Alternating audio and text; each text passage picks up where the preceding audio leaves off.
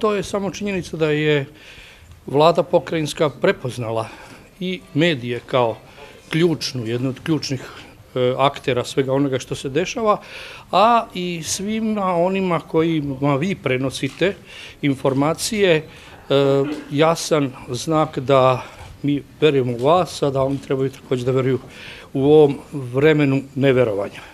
Upravo sam to izdvojio za početak zato što postoje različite vrsti, vrste medija, a nama je informacija prema svima i uvek ista.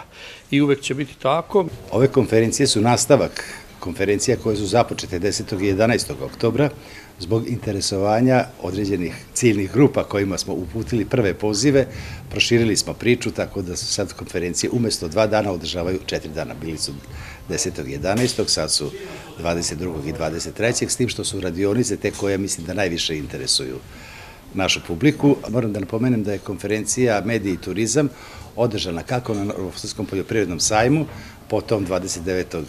septembra na Salašu 137, ali kao panel diskusije i završnicu doživljava isto danas i sutra.